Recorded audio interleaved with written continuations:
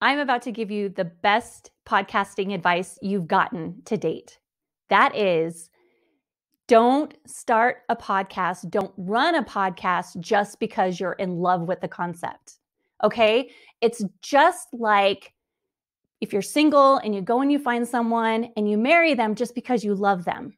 You know, you don't know how you guys are going to live because you don't aren't making the money and you don't communicate well. So those are two really important things in marriage. I've been married 28 years, so I can tell you now I know there's ups and downs and I'm not going to, you know, explain like how to stay married, but I can tell you that finances and communication are the top two reasons that people divorce. Um, you know, throwing kids as well. But right now we're just going to talk about those two things.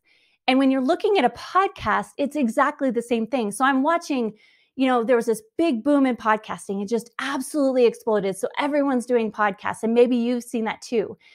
And out of that has come all these people who's giving who are giving all this advice, which has been really fascinating to me because I've been doing this for a while. We've got a system to help podcasters. So I've been kind of taking that information in, these articles and these ads. I've kind of taken some time and been kind of quiet just just kind of um, marinating on what's happening because I feel like there's finally more data out about podcasting. And so I just want to make sure that my assumptions are true. So I'm reading all these articles that are really the opposite of our, our approach to podcasting.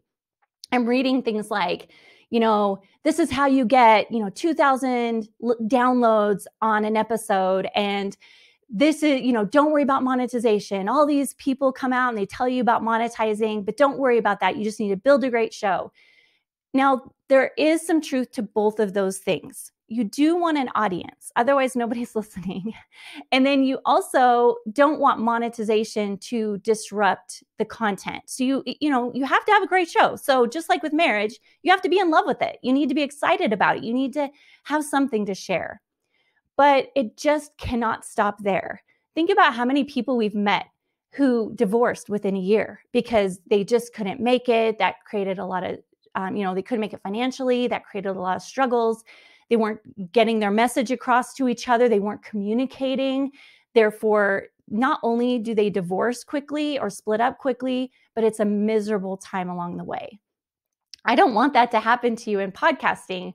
You have a great idea and it's time that you have a more balanced podcast and a more sustainable podcast. So just like with marriage, you want to look at monetization. You want to look at how can you monetize it without worrying about the audience because guess what? You can't control that. There are all these things that you can do and we've got we've got systems but you know you can read there's like a billion articles right now um, exaggeration obviously. There's so many articles about how to grow your audience and the bottom line is is you're growing a tribe. Your communication is more important than how many zeros are at the end of the digit that represents how many downloads you've gotten. Focus on that love and that passion and communicating and how can you get it out there?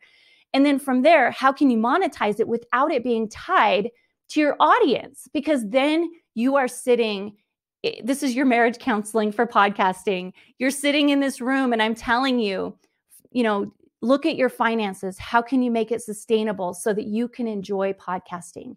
You can focus on the thing that you truly are in love with and make those other things part of your your ecosystem so that it's happening the communication's happening the monetization's happening but your focus gets to be on the love because you've attended to the to two things that are so important comment let me know what you think